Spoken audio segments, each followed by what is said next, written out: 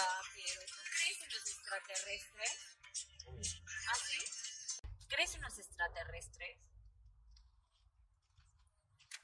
Piero, sí, ¿sí? Sí, dice que sí cree. ¿Y tú crees que... ¿Sabes de lo que se está hablando o has escuchado de la Antártida? ¿O no? Este, este cucaracho no está ni enterado. ¡Nada! Sí. El del muro de Rose. Rose. Mi, mi muro, mi muro. Es Rose. En la Antártida. Y no sabes del, del, del mapa que lo han cambiado.